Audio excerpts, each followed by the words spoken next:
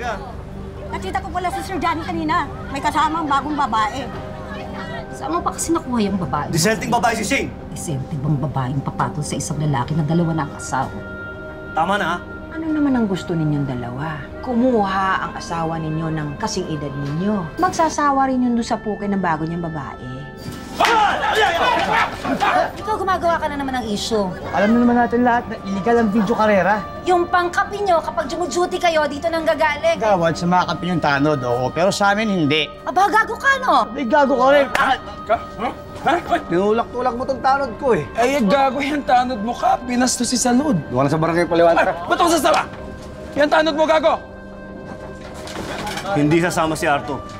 Sobrang gipit naman nila ngayon. Maya-maya may raid. Di ba nakausap niyo yung hepe sa kabilang istasyon? Eh, masiba yun eh. Painumin mo kaya? Basta sabi, hinay-hinay daw tayo. Kung ako sa'yo, magsasorry na ako. Ang dami mong alam, no? Pati ka naging teacher sa halip na maging dancer sa beer house. Kahit kailan, di ako naging dancer. Sa Sir! dancer ka! Tama na! Yun lang niya ako nasigawan dahil lang sa isang babae. Eh naku, basta tayo ha. Magkasundo tayong dalawa. Dapat, ang trato mo sa mga asawa mo, pantay-pantay. Di ka na. Tsaka pala, yung singilin ng tubig, huwag mo na kasi kasuhin. Bakit? Sinong maniningil? Yung ilaw, nasa iyo pa naman ah! Ang dami kaya hindi nagbabayad ng ilaw. Bro!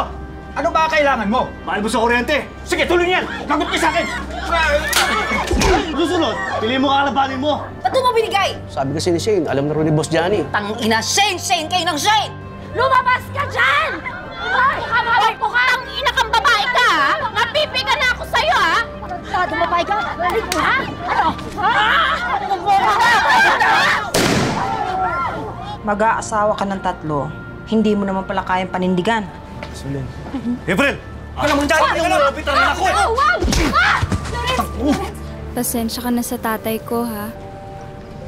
Sarap. Hindi mo sagutin.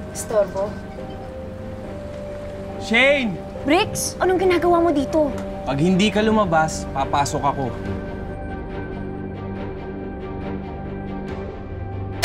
Ano bang problema mo? Nakita ka ni Arthur! May kasama ka lalaki! Sinungaling yung baklang yon. Huwag mong tatawagin sinungaling kaibigan ko ah! Ano? Nakita mo ba mismo? Hindi po, Nay. Eh, gago ka. Ba't ka naniwala? Wala ka bang mata? Pwede ba?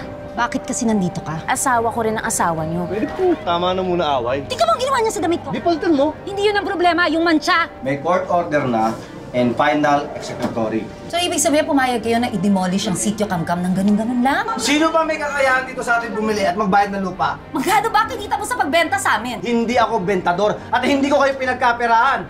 Hindi katulad ng pamilya mo. Talaga? Talaga! Meron! Saan ka pupunta? Kung sa labas pa!